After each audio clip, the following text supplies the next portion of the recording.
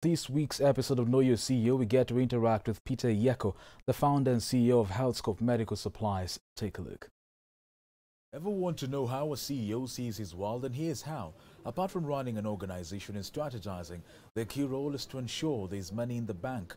Our CEO this week is Peter Ayeko, the founder and CEO of HealthScope Medical Supplies. Peter, thank you for creating time.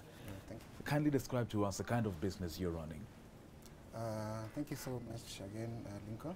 I run a company that supplies medical, uh, that is supplies and the consumable, by the name HealthScope Medical Supplies and Pharmaceutical Company.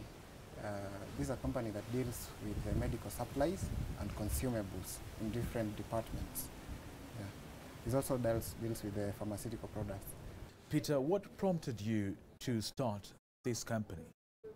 Okay, uh, uh, being that I'm in the medical field, uh, that is the first instance. When you go to study, sometimes you study something that you can practice later on. And uh, what prompted me to start is that at all level of your costs, you will always not be an, emplo- uh, an employee for someone for all the time. So I would always also like to create employment and also be uh, a CEO of my own. What year did you start this company? Scope started um, in 2017 in my mind. In your mind? Yeah. Were you mind. still in school in 2017? I was still in the, in the university, Uh-huh. I started Healthscope in my mind because I'd seen one uh, in medical field. I specialized much in medical equipment and consumables. Uh, being a medic, I knew very well when you get outside here, Yes. you have to either work or do something. So I had started building the castles in the air to see what kind of business can I do. And being that I'm in a medic, I saw I can venture in medical field. Peter, where did you get seed capital from? I was saving some HELB loan, a bit small, small eh, in the bank. Yes. So when I finished up, I realized I had like uh, 102,000 shillings. 102,000 Yeah, only. Uh-huh. So these 102,000 shillings, I have a brother who is in the United States. He studied uh, computer science. So he has built himself there and I told him to help me with some loan so that I can move on. Uh, what I did with one or two thousand in the bank, cooperative bank, I convinced them to give me a loan of around 400 and something thousand. So I was clinching to half a million. -hmm. Then I told my brother, now I'm having uh, half a million. You can add me like uh, half a million or a million. Uh, my budget trades to in between that. So he told me, uh, uh, she actually sent for me one, uh, 1.2 Million. million. Yeah, that's what I saw now everything is possible because from there now I know how to start. Did you break even? Yeah. You did? I After did. how long? Um, as I can tell you, medical staffs have got uh, uh, good money. Yes. If you know how to execute and how to do business, Yes. you're likely to make money. So how many people are working under you? Currently, I work with around 13 people. 13 people. Yeah, that I've, pay. I've got uh, that that I pay. Yeah, yeah, that depend on me.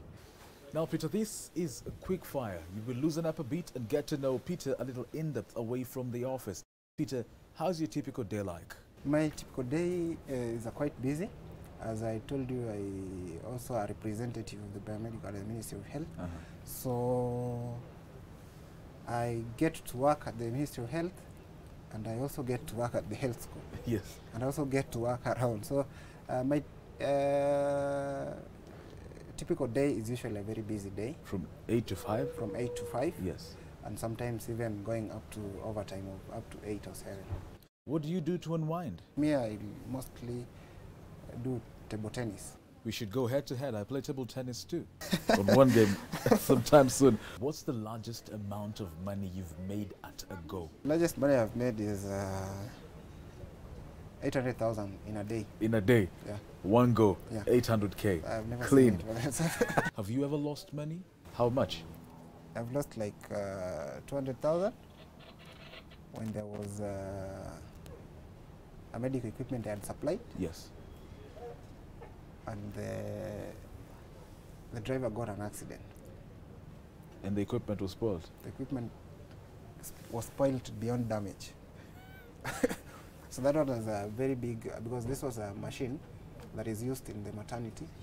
It's called uh, CTG. Yes. Uh, yeah, so it's used to check the heartbeats of the fetus. So I'd lost it. It is 200,000. Advice to biomed engineering students or people who want to venture into what you're doing right now. It is easy to learn in the school and then come outside. It's very easy to follow that procedure Yes. because if you've been set for a target like follow uh, this table around, Yes. then come to the center, you will exactly do that. Yes. Now the problem comes when you finish. Do you have any plan in your mind? Yes. What do you think? That's why you see most of the students now, even for the COOPs now, have realized that sometimes it is not just a bed of roses going to the university Yes. to do a course that will not help you later on. So at least maybe you do a, a diploma course at a college level, but you know you can do something practical Yes. when you get outside there. Another thing I would uh, advise the young people like me Yes. is you should dare to dream. Dare to dream. Yeah, nothing is usually easy. Dare to dream. Yeah, Yes. You have to dream and you have to always dare. For Peter Ayako, the founder and CEO of Healthscope Medical Supplies, prayer and daring to dream are the key to success.